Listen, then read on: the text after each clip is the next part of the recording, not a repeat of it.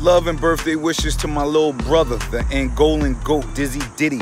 Shout out to you, young king. Your birthday party's on the Angola VMAs and Luanda, Angola, Africa.